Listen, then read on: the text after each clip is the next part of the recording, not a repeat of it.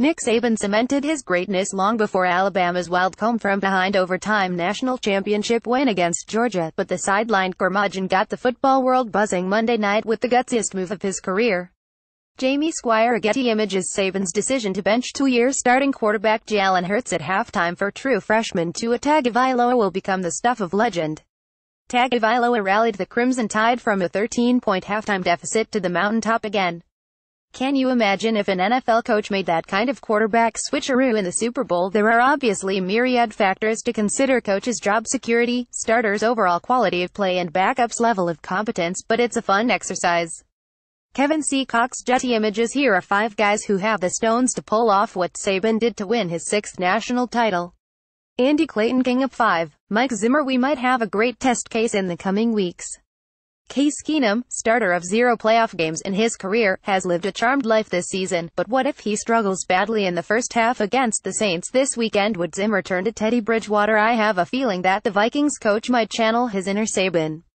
Gail Burton App 4. Bill O'Brien the Texans coach has proven to be an all-pro flip-flopper when it comes to his quarterbacks, probably because he hasn't really had a good one for most of his tenure. Remember, he benched starter Brian Hoyer for Ryan Mallett yes, that Ryan Mallett in the fourth quarter of Week 1 after a summer-long quarterback competition in 2015. Mallett was cut six weeks later. Then, O'Brien yanked starter Tom Savage for Deshaun Watson at halftime of Week 1 this past season.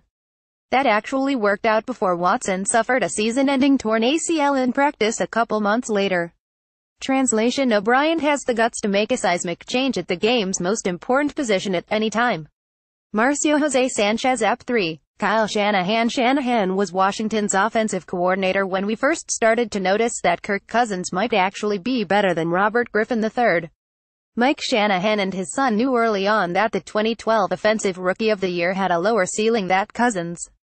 They've obviously been proven right.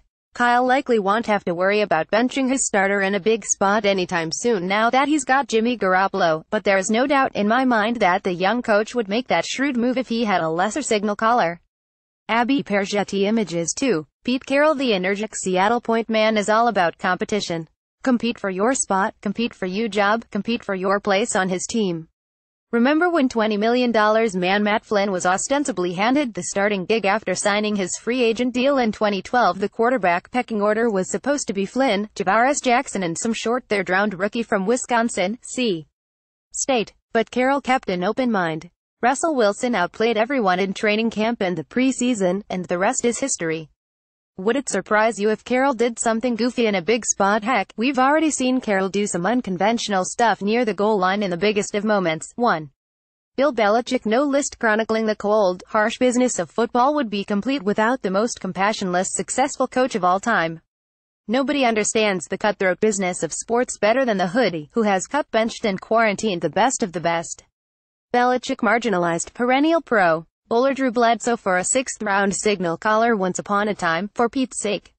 Nobody, however, is suggesting that Belichick would bench Tom Brady for Brian Hoyer at halftime of Super Bowl 52. Besides, Brady would probably just call Robert Kraft even if Belichick ever thought